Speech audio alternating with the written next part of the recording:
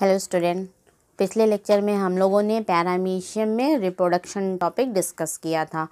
तो रिप्रोडक्शन जो हो रहा था वो एसेक्सुअली या अलैंगिक विधि या सेक्सुअली यानी लैंगिक विधि द्वारा हो रहा था।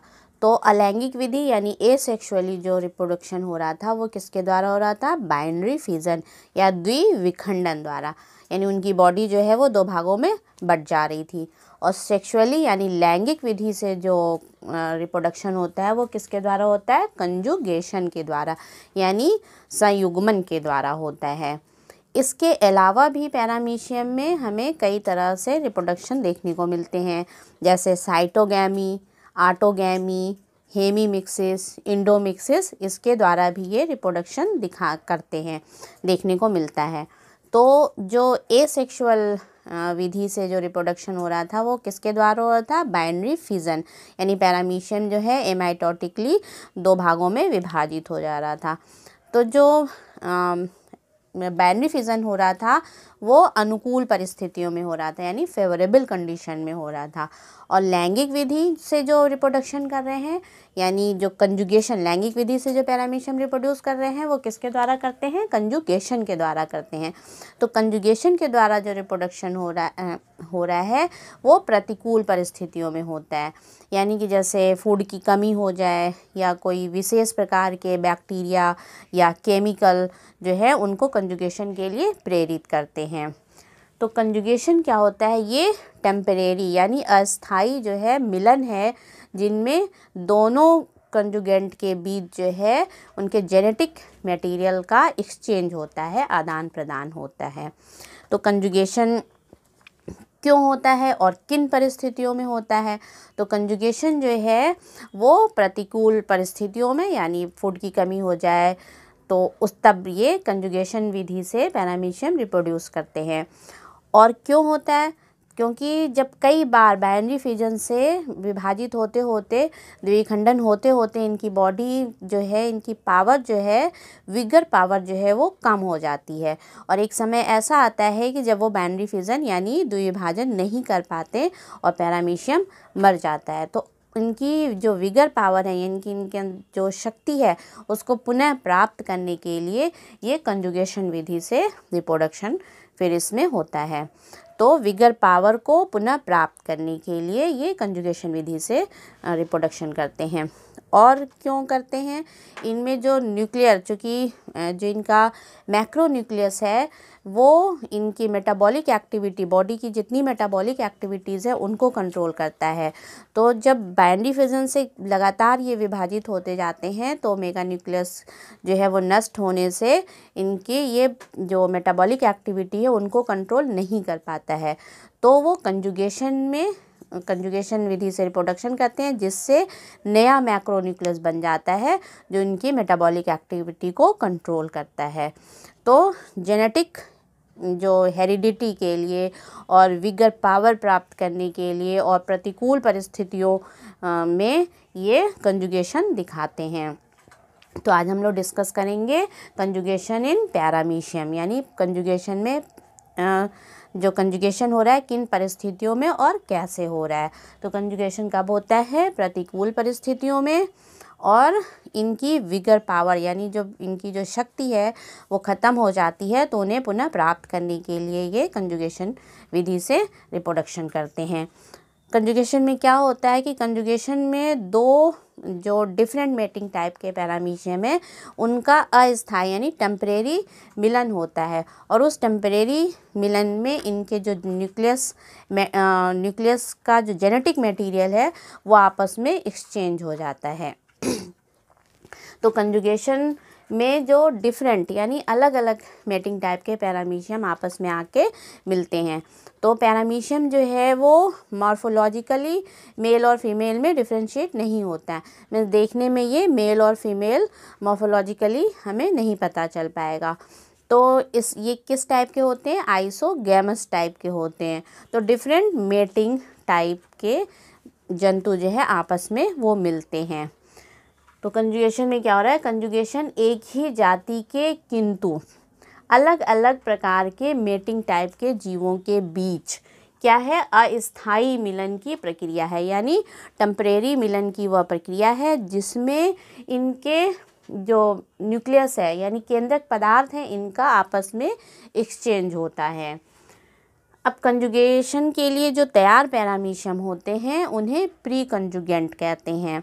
तो पैरामीशियम के लिए तैयार कंजुगेशन के लिए तैयार पैरामीशियम, यानी प्री कंजुगेंट आपस में आके अपने ओरल ग्रुप से घिरे ओरल ग्रुप के जो सरफेस हैं, उनसे चिपक जाते हैं।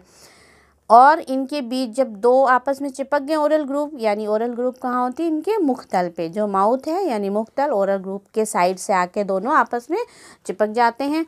और इनके बीच की जो पैलिकिल है, दोनों के बीच की, वो नष्ट हो जाती है। पैरामीशियम की जो बॉडी घिरी है, वो किससे घिरी हुई है? पैलिकल से घिरी होती है। तो जब दोनों पैरामीशियम आके अपने ओरल ग्रोथ से चिपक गए तो बीच की जो पैलिकल है, वो नष्ट हो जाती है, जिससे दोनों का साइटोप्लाज्म जो है, वो आपस में मिल जाता है। यानी बीच में क्या हो जाती है? एक कंजुगेंट ट्यूब बन जाती है। तो और इस जो कंजुगेंट ट्यूब बन जाती है और ये पैरामीशियम क्या कहलाते हैं? दोनों जो आपस में सटे रहते हैं, अब इनको कंजुगेंट बोलेंगे। जब तैयार होंगे सटने के लिए, यानी mature mature different mating type अलग अलग मेटिंग टाइप के जंतु जो हैं आपस में मिलेंगे। तो जब तैयार होंगे मेटिंग करने के लिए तो इन्हें प्री कंजुगेंट कहेंगे। जब आपस में वो चिपक जाएँगे और इनके बीच के पैलिकल जो है वो नष्ट हो जाएगी तो इन्हें क्या बोलेंगे? कंजुगेंट बोलेंगे। ये पैरामीशियम क्या हो गए? कंजुगेंट हो गए। तो कंजुगेंट के लिए तैयार पैरामीशियन अपने मुख्य तल से, यानी कंजुगेशन के लिए जो तैयार पैरामीशियम है, वो अपने ओरल ग्रुप से एक दूसरे से चिपक जाते हैं।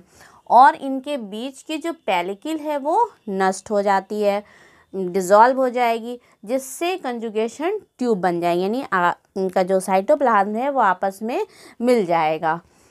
अब इनको क्या बोलेंगे? कंजुगेंट यानी इन पैरामीशियम को क्या कहेंगे? कंजुगेंट कहेंगे।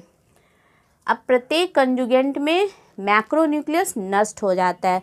आपको पता है कि पैरामीशियम कॉर्डेटम में एक मैक्रोन्यूक्लियस होता है, बड़ा वाला, और छोटे वाले को माइक्रोन्यूक्लियस कहते हैं। तो जो बड़ा वाला न्यूक्लियस है, वो नष्ट हो जाएगा। मैक्रोन्यूक्लियस नष्ट हो जाता है, और माइक्रोन्यूक्लियस जो है, वो दो बार विभाजित होता है। तो एक माइक्रोन्यूक्लियस है दोनों में तो जब दो बार विभाजित हो रहा है, यानी दो बार बट रहा है, एक बार बट रहा है तो कितने बनेंगे? दो। दूसरी बार जब बटेगा तो इनसे चार मैक्रो सॉरी माइक्रो न्यूक्लियस बन जाएँगे। तो मैक्रो न्यूक्लियस तो नष्ट हो गया माइक्रो न्यूक्लियस बचा माइक्रो न्यूक्लियस दो बार विभाजित हुआ तो फ़र्स्ट बार जब डिवीज़न हुआ तो एक से दो बने, दूसरी बार डिवीज़न हुआ तो एक से चार उन दो से एक एक बनेंगे, यानी चार माइक्रो न्यूक्लियस बन जाएँगे। तो जिससे क्या होता है, दो बार विभाजित होता है माइक्रो न्यूक्लियस जिससे चार माइक्रो न्यूक्लियस बन जाते हैं। अब इन जो नए बने चार न्यूक्लियस हैं, इनमें से तीन जो है वो नष्ट हो जाते हैं। मैक्रोन्यूक्लियस तो पहले नष्ट हो गया, माइक्रोन्यूक्लियस बचा था, माइक्रोन्यूक्लियस दो बार विभाजित हुआ जिससे कि चार नए माइक्रोन्यूक्लियस बन गए। उनमें से तीन क्या होंगे, वो नष्ट हो जाते हैं। तो कितना बचा? एक बचा।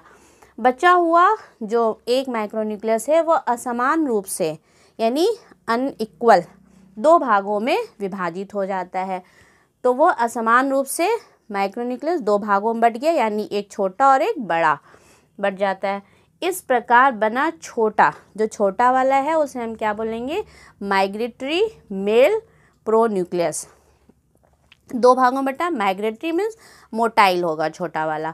और जो बड़ा होगा, वो कैसा होगा? फिक्स होगा, यानी स्टेशनरी होगा। स्टेशनरी फीमेल प्रोन्यूक्लियस कहलाता है। यानी वो असमान रूप से बटा एक छोटा और एक बड़ा तो जो छोटा वाला है वो मेल कहलाया और जो बड़ा वाला है वो फीमेल और मेल कैसे होंगे? वो माइग्रेटरी यानी मोटाइल होंगे. फीमेल कैसे होंगे? वो स्टेशनरी होंगे, वो मोटाइल नहीं होंगे. अब दो भागों में बट गया. एक कंजुगेंट का मेल प्रोन्यूक्ली दोनों में, दो भागों में बटा तो एक कंजुगेंट का जो प्रो प्रोन्यूक्ली यानी मेल जो प्रो प्रोन्यूक्ली है, यानी माइग्रेटरी मेल प्रोन्यूक्ली दूसरे जंतु में पहुंचकर, दूसरे वाले कंजुगेंट में पहुंचकर फीमेल स्टेशनरी जो फीमेल प्रोन्यूक्ली है, उनके साथ समेकित होता है, यानी फ्यूज़ कर जाए उनके साथ फ्यूज़ कर लेता है।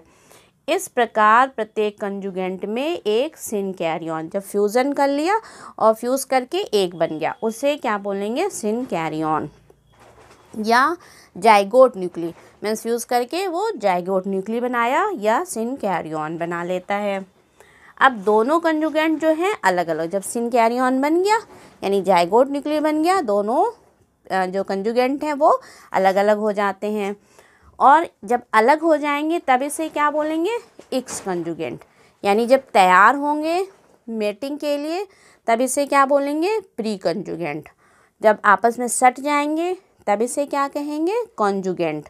और जब इनका न्यूक्लियस मटेरियल जो है, वो एक्सचेंज कर लेंगे, उसके बाद वो अलग अलग हो जाएँगे।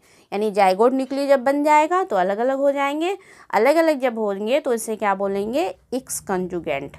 तो ये अलग अलग हो जाते हैं।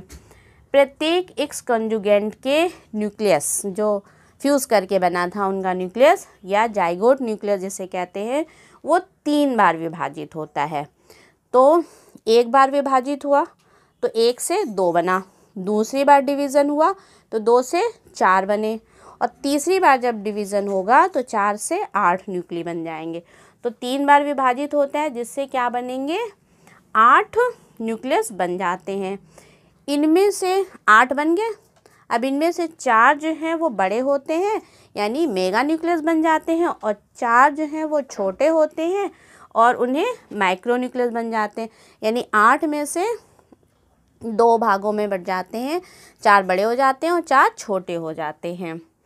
अब जो चार छोटे वाले हैं, माइक्रो न्यूक्लियस में से तीन नष्ट हो जाते हैं। मेगा न्यूक्लियस चारों हैं। जो छोटे वाले माइक्रो न्यूक्लियस जो बने हैं, उनमें से तीन जो हैं वो नष्ट हो जाएँगे। तो कितना बचा? एक बचा। चार वो बचे और चार मेगा न्यूक्लियस बचा, एक क्या बचा? माइक्रो न्यूक्लियस बचा। तो प्रत्येक एक्स कंजुगेट में बचा। एक माइक्रो न्यूक्लियस दो बार बटता है। यानी दो बार उन डिवीज़न करेगा और उन्हीं, उसी के साथ ही साथ इनकी जो बॉडी है पैरामीशियम की, वो भी साथ साथ जो एक्स कंजुगेंट की बॉडी है, वो भी दो बार विभाजित हो जाती है। फलस्वरूप, एक एक्स कंजुगेंट से चार डॉटर पैरामीशियम बनते हैं। एक बार विभाजन हुआ तो एक से दो।